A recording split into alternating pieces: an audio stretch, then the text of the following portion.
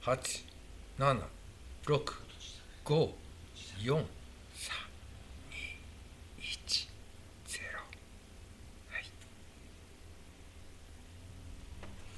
はい、こんばんは。えー、12月28日、午後7時になりました。えー、第270回ですね。まあ、キレもいいですね、今日ね。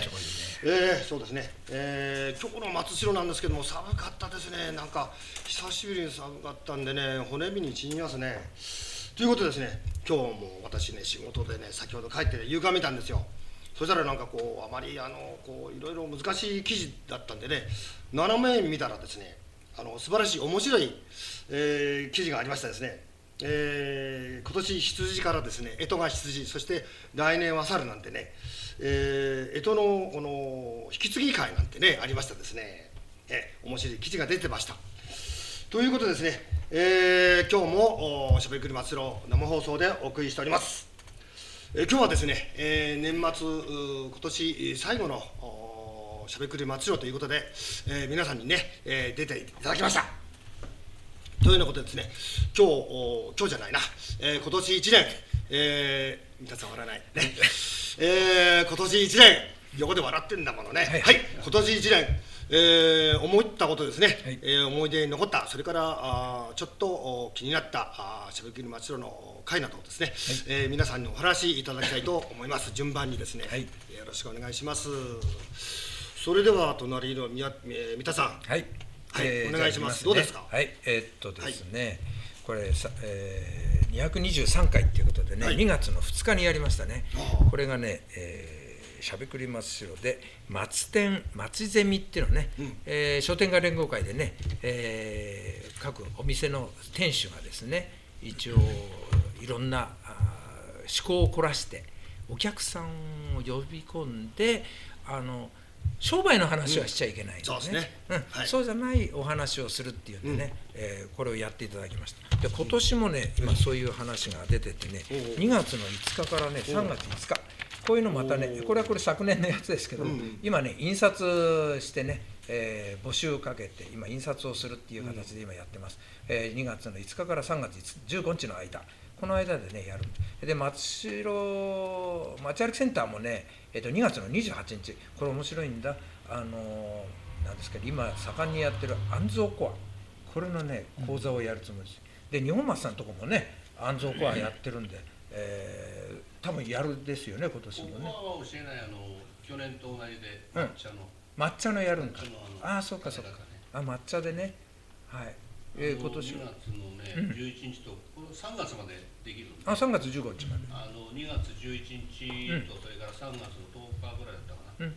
バレンタインとホワイトデーにそれぞれお返しに間に合うようにお茶を習いましおお、なるほどなるほど。やります、はい。じゃあそんな形でね今今年もやる予定です、まあ、はい実みも好評でしたよね。そうですね、えうん、はい。今年もね少しこの間の会にあってね商店街も活性化するね。うん。これで活性化できるといいそうですね。だね。え。えー結構増えたって言ってましたから、はい、ということでね、先ほどからこの画面がだいぶ変わっておりますけども、そちらにね、えー出演者兼技術でね、あの 日本松さんがやってくれてますね、あこちらに映ってますね、あ今ね、自分で自分のとこ映してますね。はいね、カメラはそちらに3カメあるんですけどもね、えー今日はあ固定でですね、えー日本松さんがこちらの方で出演兼技術ということでね、やっていただいております。よろしくお願いします。応全員今日ねえあの映ってます。そうですね、これで全員ですね、今日の出演兼技術ということでね、お願いします。えーそれでは続いて、尾本さん、どうですか？今年の名メントはですね、はい、あのやっとですね、寺町商家というのがね、青4くね月にオープンしましたね。ね。ええ今まではずっと、えー空き家だったんですけど、それで市のいろいろと資金を投じていただいて、立派な、えーものができましたね。そうですね。はい、その中でやっぱり一番やっぱり話題になってくるのはワンデーシェフですね、はい、今は長見さんだとか、えー、黒場食堂だとか、まあ、いろいろね5社ぐらいですかね、5グループですかな、えーいろいろと参加してもらえて本当に、えー皆さんが食を求めてね、えー来ていただいて本当に感謝いたしますそうですね。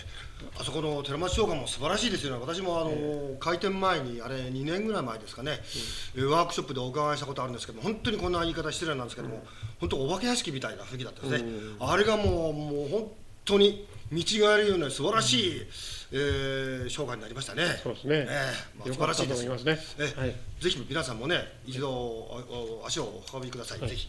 まあ、管理管理としてはね、あの NP 法人の夢空間がね、あの指定管理者ということで、えー管理しておりますので、えーぜひまたね、えーおいでがあったときは、えーし食堂の方へですね、おいでください。そうですね。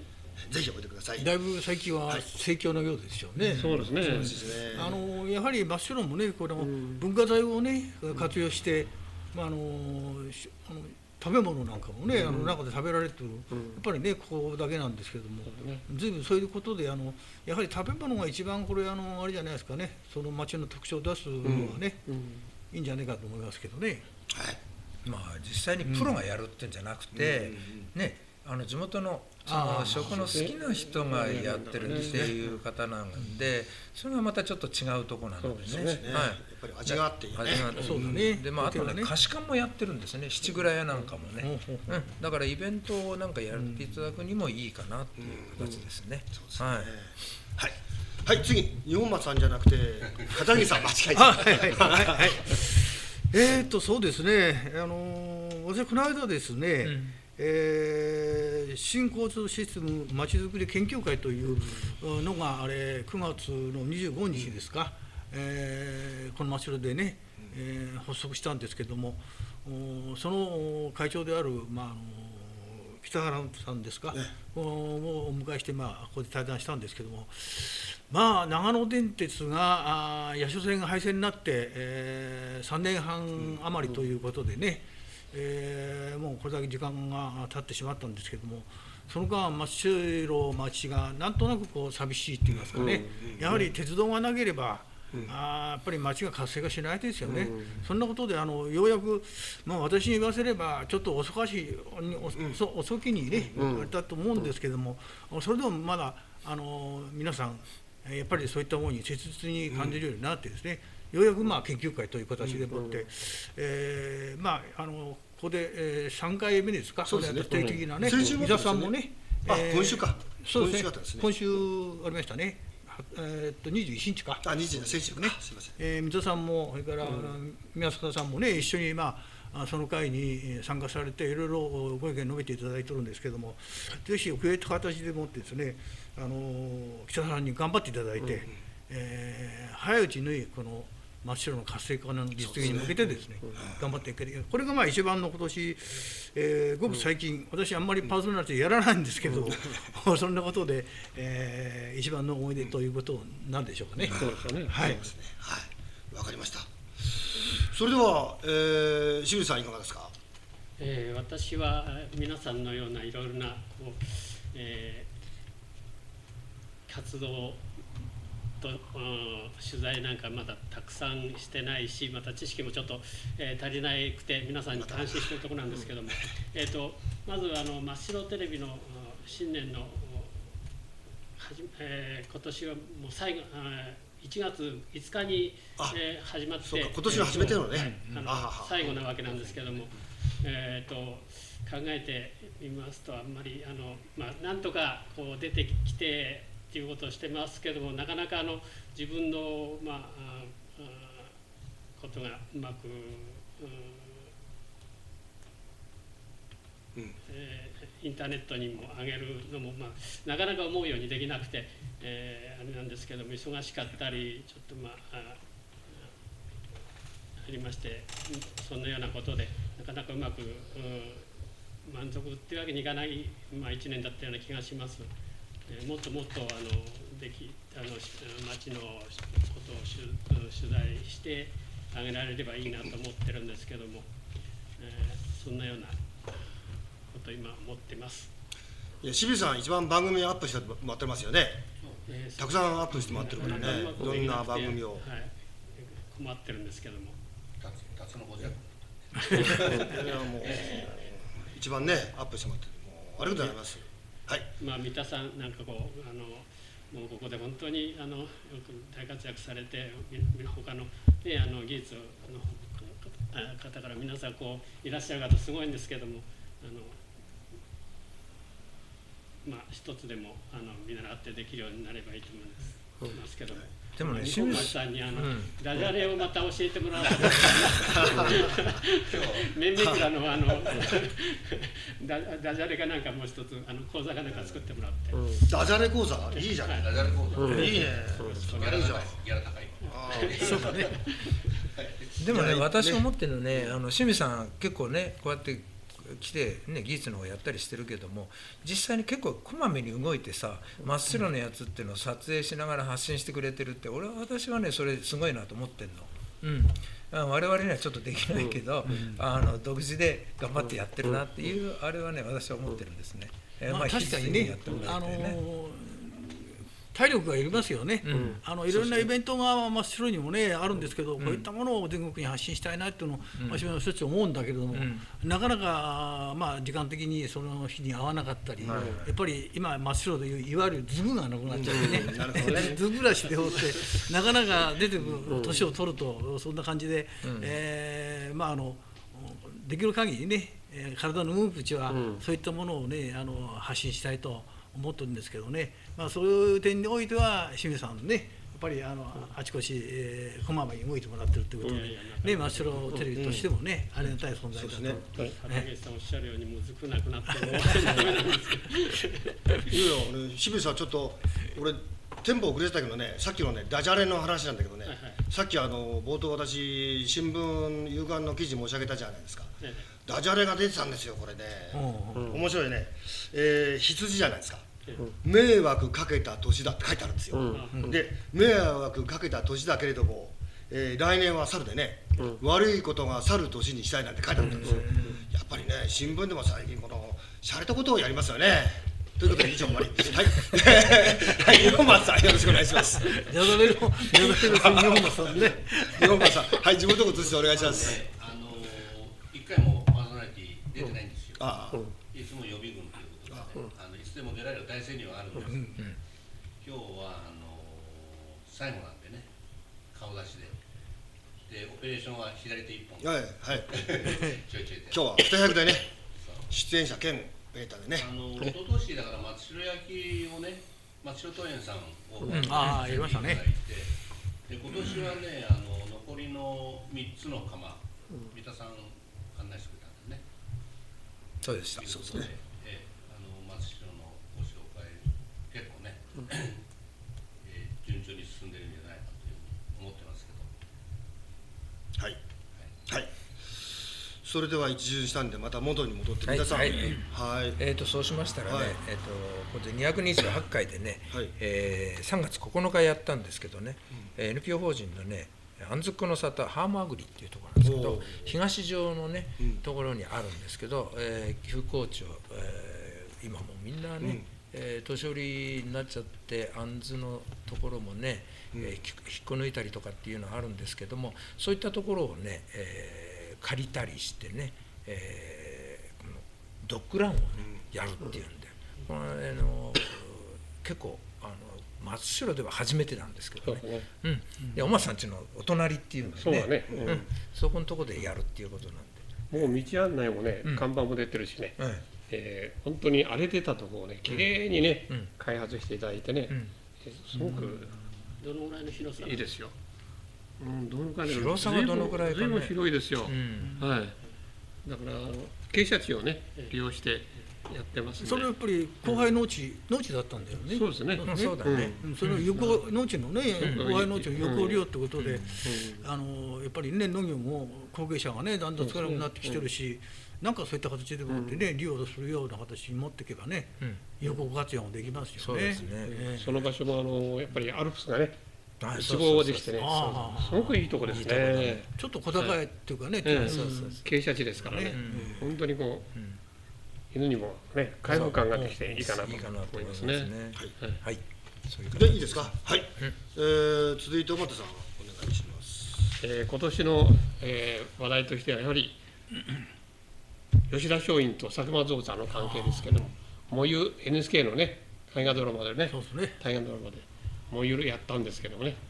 その中で一部ほんのちょっと佐久間象さんが出ましたね、はい。まあ、そんな関係でねあの、えー、樋口家住宅でも、えー、もゆるの、えー、企画展をやったんですね、そしたら随分来ましたね。やっぱりあのき期待してるんでしょうねやっぱり、佐久間さん佐久間象さんが出るんだじゃないかと思ってね。だいぶ出ましてありまして。大勢さんがですねあの企画展に参加していただいてよかったなと思ってますね、だけど少ししか出なかったのは非常に残念でしたね、ああうん途中で消そうえただね。最初のうちねあれだったけども、やっぱりメディアの力大きいですよね。大きいです。ね、はい。はい。えな感じ。でーとですね、今日はあー今年の最後ということで、えー通常の15分を過ぎたんですけども、えー今日は最後ということでですね、もう少し、えー伸ばしてね、えーやりたいと思いますので、ご了承ください。えーそれでは続いて、小畑さんもいいですか、それで。いいですね。いいですか、はい。えーそれでは続いて、片桐さん、お願いします。はい、えー、とじゃあもうね15分過ぎてるんで手短に、えー行こうと思います。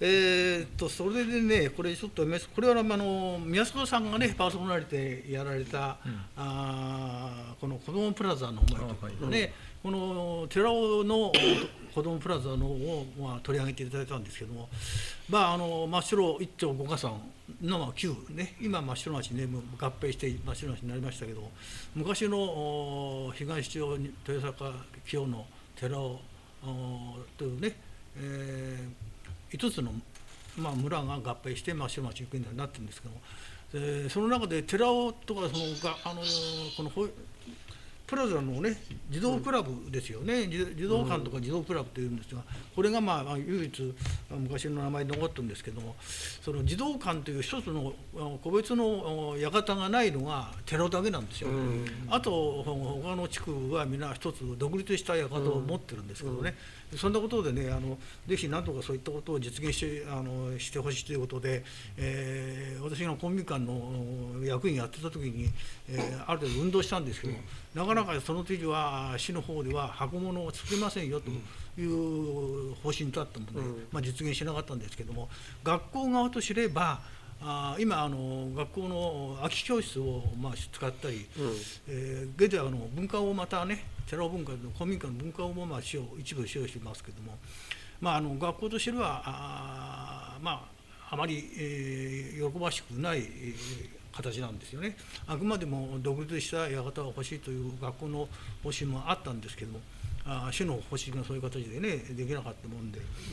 まあ、そんなことをやあのもうあの私は一つの思いとしてね、まあ、よこのお現在の施設長の吉行さんとの話はちょっと違うんですけども別な視点で見てね、えーまあ、あのこの子どもプラザというものについてですね、えーまあこれからねこのあの今親御さんたちはみんなお勤めに出てますもんで、えーどうしてもあの子ども学校がまあ3時に終わってもおまあ、職場は3時に終わりません終わりませんからね、えー5時何し6時まで遅くなります。そういったのを面倒見てくれる場所がぜひこれからも必要になってきますんでそんな形でもってね、えーまあ、あのこの吉行さんのお話なんかもね関心を持ってきたということがまあ一つの思い出になっております。えー、まあそのことですね。はい、いやいや、手短にありがとうございました。いやいやいやいやいや。ということで、清水さん、お願いします。はい、えー私はあのちょっと印象に残ったえーのであの女性剣士ということであの、えー、笠井明子さんあの、新金のねはいありましたね。新金で、えーあマラソンやった人か、うえーとん、マラソンじゃない。マラソンじゃない。けん、あの、剣剣道剣道はい。あ剣道、えーまあ、あの小マラソン学校マラソン小学校か中学高校から一般とあのすごいえー活躍されて全国大会にも何回も出たりあの今でも子供に教えているっていうことで、えとっても関心をがありました、うん。それでまたちょっと取材に行ってみたいなと思って。ます、はいはい、はい、ありがとうございます。はい、それでは最後になりますかね、日本松さん。ない。ない。ないですよだって俺いつもほら巻きかかけてあ、そうです。巻き、あ、巻いてます。それじゃあ、三田さん。うん言いますねはい、最後に。えっ、とね、えーこれがね、えー4月の20日にやったものなんですけど234回で、えー、と真田宝物館ですね、えーこれやった時なんですけども現在はですね今宝物館ね、来年真田丸という形でですね。今あ宝物館お休みです。で来月の17日から一応あ展示会っていうかね、えーやるっていう形で今入れ替えをしています。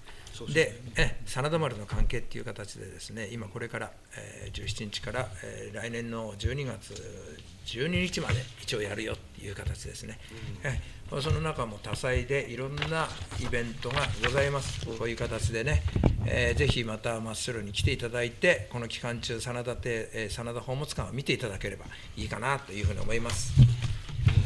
まあ、その他にね、夢文館なんかもね、そうですね。街歩きやったり、街歩きもやったりね。体験やったり、い。ろいろは催しがありまあ、ます、エコールドマッシュロクラブもですね、体験をやったりとかね、えーいろんなことをやります。えー今、えー大博覧会っていう形でね、えーあの街中で頑張ってやってるそうですね、あのんですね。真っ白テレビもね、うん。やはりその真田丸といううん地元でね、はい。関わったあーまああの大きなですからね NHK のお大河ドラマということですので、えーこれもぜひねあの真っ白テレビでも取り上げて、えー逐次、えー全国に発信できるような形にねそういう体制に乗っていければなと思いますね。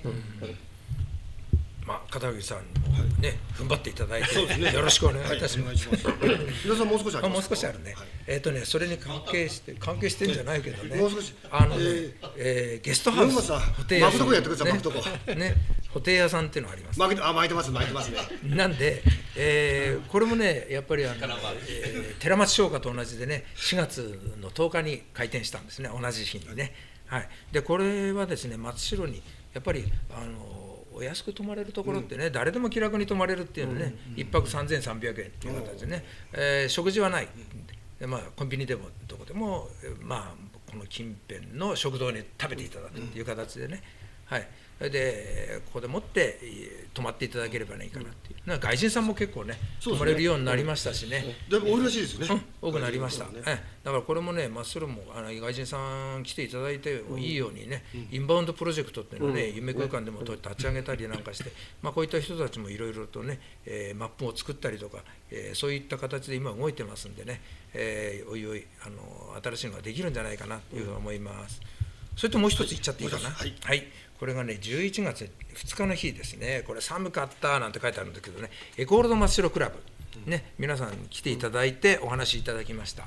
これもですね、えー来年もそうなんですが、えー真田丸に関係してですね、体験型っていうのをですね、えーやるようになります。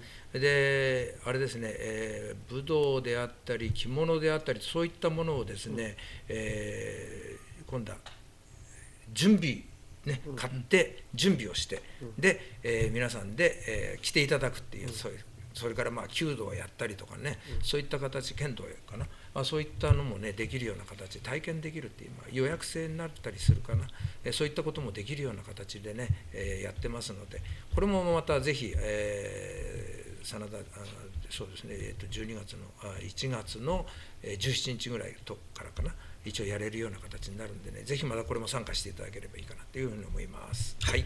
この会場もいいですよね、あの体験する会場ね、そうですね。文部学校文部学校そうだね。えー真っ白にあの全国にあの250ぐらいあったんですけども、完全の形が、ね、の残ってるのは真っ白だけですよね、そういうところで、えー体験できるっていうのは非常にいいかなと思いますので、ぜひおいでください。えー時間もだいぶ過ぎちゃったんですけどなんか最後に一言なんか皆さんこれは言っておきたいというようなことありましたら？来ないね。来ないですね。はい。いいですか？はい、えーそれではですね、えー今年1年もおこのお月曜日にしゃべくり祭りを一回も休むことなく、えー今日もお続けてまいりました、えーそれでまた来年度でも来年もですね、えー今日が270回ですので、えー300回500回1000回ということで、えー休むことなくう続けていきたいとこんなふうに思っております、えーそういうことですね、えー来年もまたあぜひよろしくお願いしたいと思います。はいよろしくありがとうございました。いいお年を。よろしくお願いしさよなら。さよなら。はい。はい。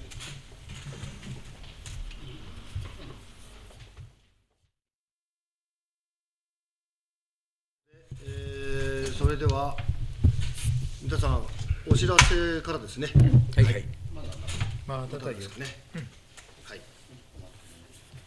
まだ画面が出てません。ねえーということで、えーあいつもの通りですね。カウントダウンします。はい、カウントダウンしてますね。はい。まあずっとアップしてください。はい。皆さん、はいということで、はいえー ご苦労さんでございました、え日本松さんが喜んでますね。はい。はい、はい。来週じゃないよ。じゃない。ねあああのあああのお知らせね。予告ね、あ予告じゃなくておお知らせね。ははいい、お知らせでございます。えっ、とね正月は昔からの遊具で遊びませんかっていうね、これがねまたえー1日か元旦からやるんですよ。3日まで。そうですね。えーこれね子供さん大歓迎っていうんでね樋口家住宅。ここでね一応やる予定です。ね。時間がね10時から4時まで暖房が効いてるんですよ。